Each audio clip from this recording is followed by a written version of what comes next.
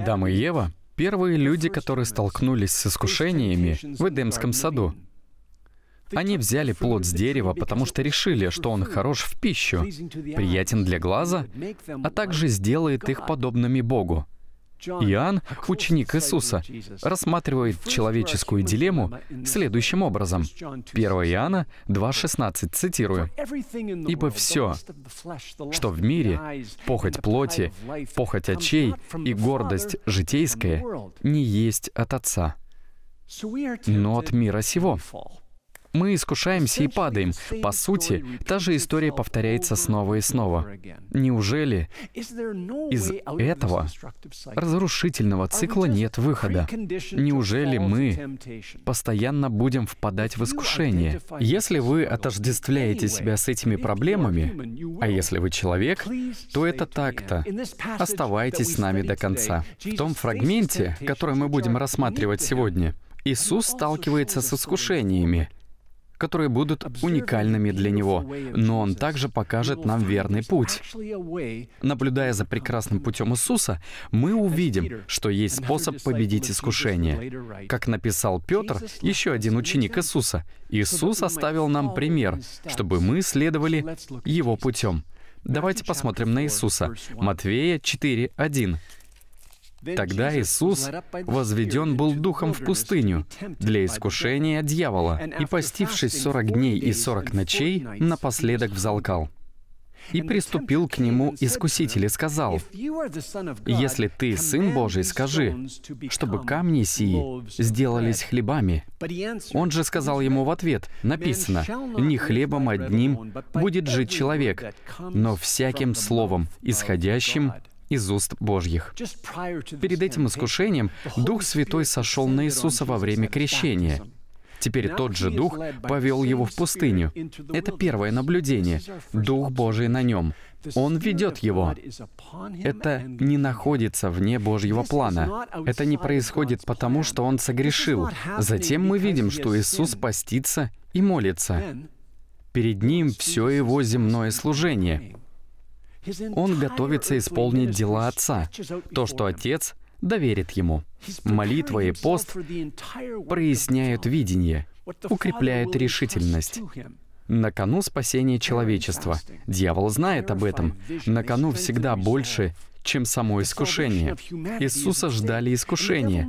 На греческом слово «искушать» также может означать «испытывать».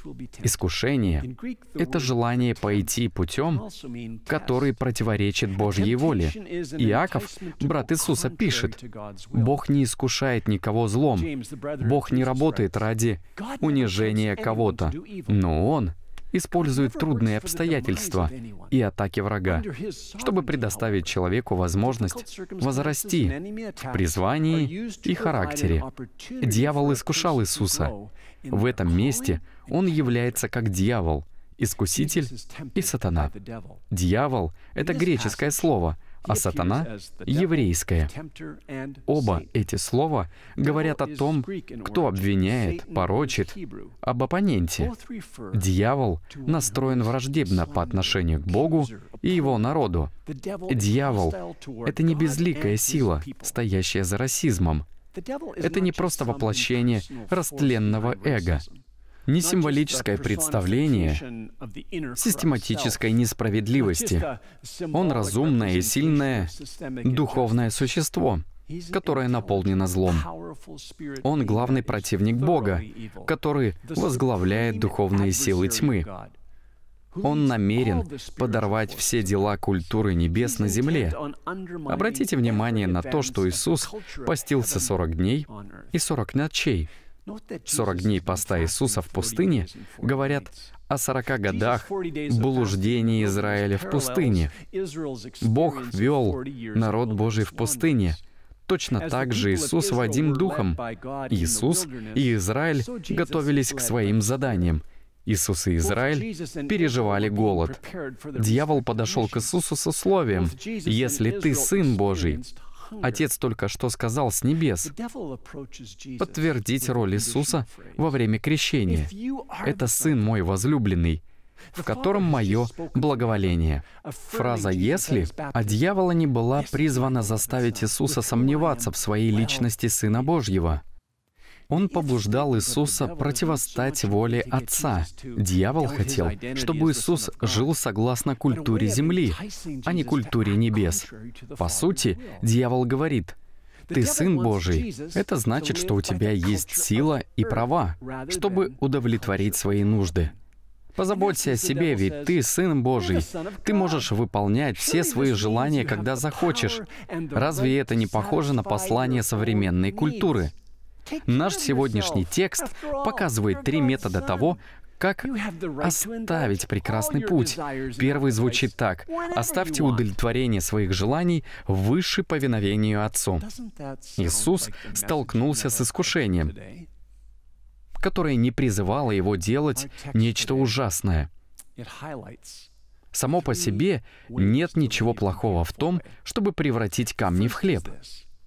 Но Иисус опустошил себя, чтобы выполнить миссию Отца. Дьявол хотел, чтобы Иисус использовал свою силу для прокладывания своего пути. Искушение состояло в том, чтобы не доверять Отцу в обеспечении всем необходимым в нужное время. Дьявол хотел посеять разделение между Сыном и Отцом, если получится. Тот же самый вызов он бросил Иисусу когда тот умирал на кресте. Я цитирую Матфея 27. «Если ты Сын Божий, сойди с креста». Священники, книжки и старейшины насмехались над ним. Цитирую. «Уповал на Бога, пусть теперь избавит его, если он угоден ему, Ибо он сказал, «Я Божий Сын». Но если бы он сошел с креста, то уничтожил бы цель своего пришествия. Иисус отвечал на все искушения фразой «написано». Все цитаты Иисуса на этом месте взяты из Второго Закония 6.8. Это обращение Моисея к израильтянам перед тем, как они вошли в землю обетованную. В нем он напоминает им о сорока годах испытаний в пустыне.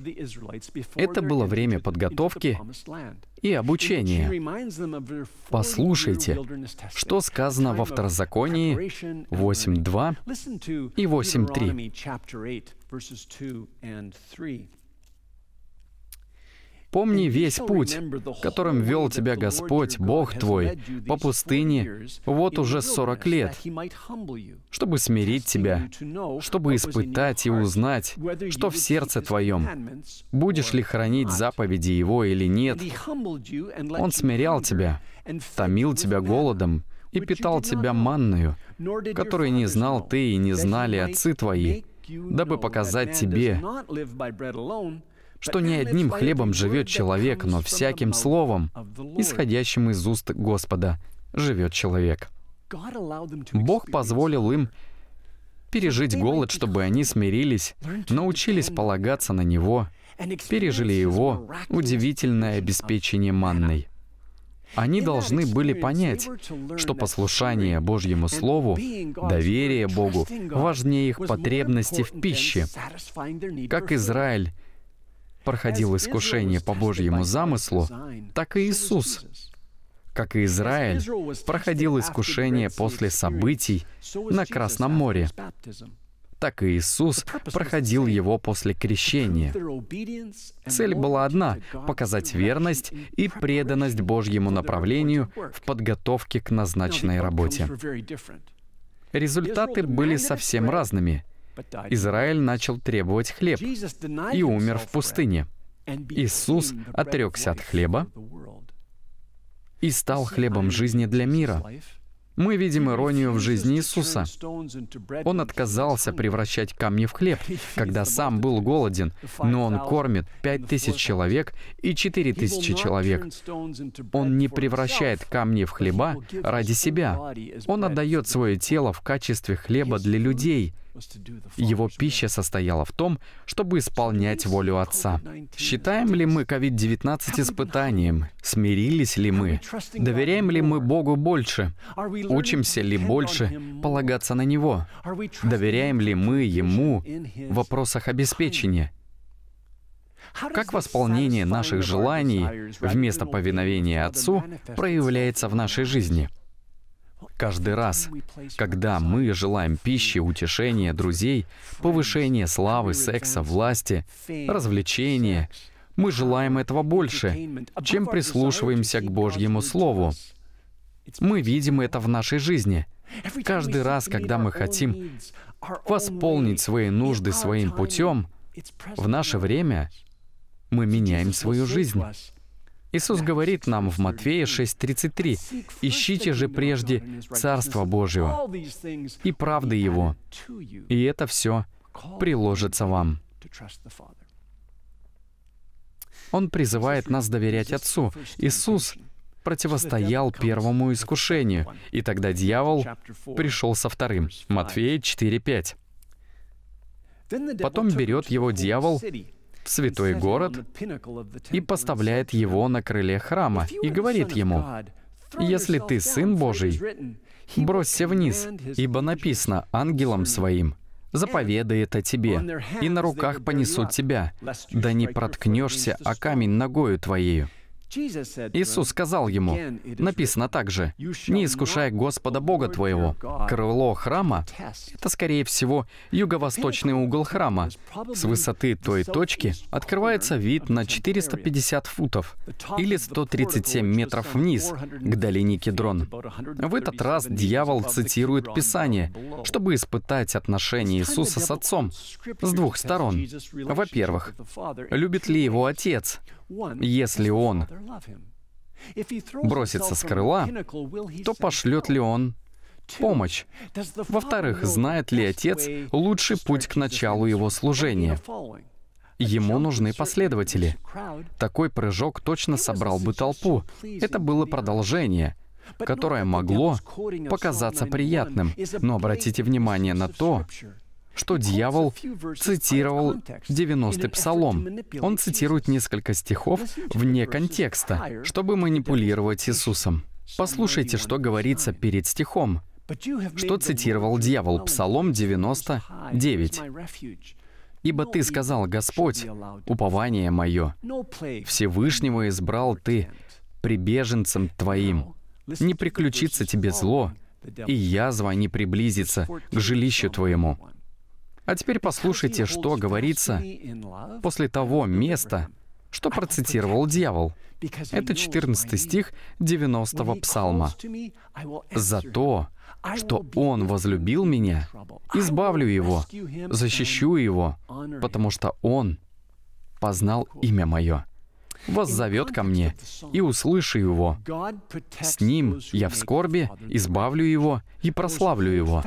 Конец цитаты. В контексте псалма мы видим, что Бог защищает тех, кто выбирает Отца в качестве прибежища, кто держится за любящего Отца, кто доверяет Ему свою защиту на всех путях.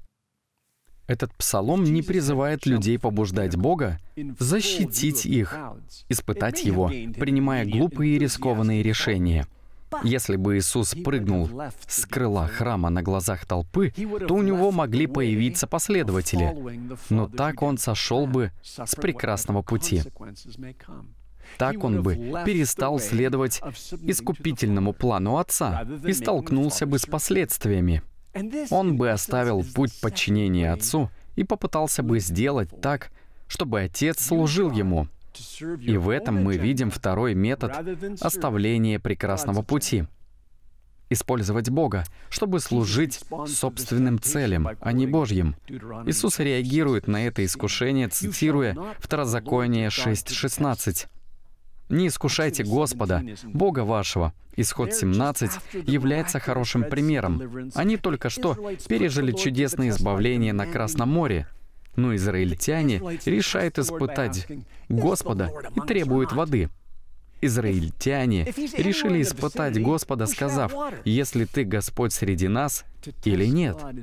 Если Он где-то рядом, то у нас должна быть вода. Испытывать Бога значит манипулировать Богом и пытаться подкупить Его.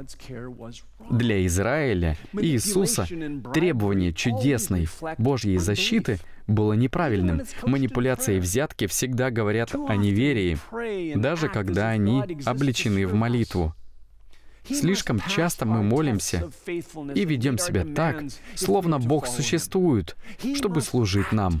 Он должен пройти наши испытания верности и выполнить наши требования, чтобы мы следовали за Ним. Он должен действовать на основании силы нашей веры и благословлять нас, потому что мы уделили столько времени и денег, а также были верны. Каждый раз, когда мы поддаемся этому искушению, мы показываем свое неверие. В жизни Иисуса искушения достигли пика, когда его арестовали и отправили на крест. В Матфея 26 Иисус откажется от своего права на то, чтобы призвать легионы ангелов, чтобы освободить его из-под ареста, суда и распятия, потому что путь Отца не был таким. Он не будет использовать свои силы и права, чтобы рука Отца начала служить по его целям. Иисус противостал двум искушениям. И тогда дьявол пришел с третьим, Матвея 4.8. Опять берет его дьявол на весьма высокую гору и показывает ему все царства мира и славу их, и говорит ему, «Все это дам тебе, если пав, поклонишься мне. Тогда Иисус говорит ему, «Отойди от меня, сатана, ибо написано, Господу Богу твоему поклоняйся, и Ему одному служи». Здесь дьявол сбрасывает свою личину и поднимает главный вопрос. Все просто. Сатана хочет заменить Отца в жизни Иисуса. Он жаждет контроля. Во время крещения Иисуса Сорока днями ранее Отец сказал с небес, «Это Сын мой возлюбленный». Это явно отсылка к Псалму 2.7. Каждый богобоязненный еврей понимал, что это отсылка к Мессии, царю, который должен был прийти и принести Царство Небес, культуру небес на землю. Иисус знал это место. Вот эти слова в контексте второго псалма, цитирую, «Возвещу определение. Господь сказал мне, «Ты сын мой, я ныне родил тебя. Проси у меня, и дам награды в наследие тебе, и пределы земли во владение тебе». Конец цитаты. Отец уже обещал народу Иисусу в наследие. Вопрос в том, будет ли он доверять Отцу. Дьявол взял Иисуса на высокую гору и показал ему все царства мира и их величие. Скорее всего, это было сверхъестественное видение. Иисус мог стать царем царей и управлять всеми людьми, если он только поклонится дьяволу. Зачем искушать Иисуса этим, если Отец уже пообещал это ему? Давайте вернемся к крещению Иисуса. Там слова Отца объединяют Иисуса, Сына Божьего, со страждущим слугой. Слова, в котором мое благоволение, взяты из Исаии 42. Иисус должен был стать страждущим слугой из Исаии 42, 49, 50 и 53, который отложил свою славу, пострадает и умрет за всех людей. Вот как прекрасный путь принесет спасение всем жителям земли — Дьявол предлагает Иисусу срезать путь, обойти крест. Иисусу нужно было лишь оставить свои искупительные дела на кресте ради всего человечества — и он бы сразу же получил власть над всем миром. Дьявол предлагает быстрый и простой путь к получению царств мира. Иисусу нужно лишь упасть и поклониться Ему. Есть лишь одна уловка — все это будет стоить ему всего. Для этого ему нужно променять любовь Отца на поклонение сатане. Такова цена идолопоклонства. За каждой силой, которой мы решаем служить, будь то другая личность или мы сами, мы всегда видим дьявольскую активность. А вот и третий метод для того, чтобы оставить прекрасный путь. Служить другой силе — чтобы получить желаемое, а не доверять благости Отца. Искушение кроется в том, чтобы нарушить первую заповедь. «Да не будет у тебя других богов». Исход 23. Дьявол бросает вызов и отвергает эксклюзивное право на поклонение. Дьявол говорит Иисусу, «Все эти царства я отдам тебе». Он утверждает, словно у него есть власть, чтобы отдать эти царства Иисусу. Но имеет ли он царство мира, чтобы отдать их? Он правитель мировой системы, которая организована в противоставлении Богу. Иоанна 12. У него есть сила и влияние над людьми и властями в этом мире, но его влияние и сила ограничены. Не забывайте, что дьявол — отец лжи. Иоанна 8. В своем искушении дьявол всегда извращает реальность. Его игра состоит в том, чтобы казаться сильнее, чем он есть на самом деле. Он обещает дать то, чего не может дать. Вся власть принадлежит Богу. Псаломопевец говорит в 23-м псалме, «Господня земля и что наполняет ее, Вселенная и все живущие в ней. Иисус отсылает дьявола прочь, цитируя Второзаконие 6.13. «Господа Бога твоего бойся, и Ему одному служи». Иисус отвергает предложение дьявола на этой высокой горе, чтобы на другой горе после воскресения получить власть, которая будет больше всего того, что дьявол мог когда-либо предложить ему. Когда он дает повеление своим ученикам в Матфея 28, то начинает свое повеление со слов «Дана мне всякая власть на небе и на земле, и принял власть над небом и землей от Отца». В 11 стихе 4 главы мы читаем «Иисус отказался утолить свой голод, чудесным образом превратив камни в хлеб.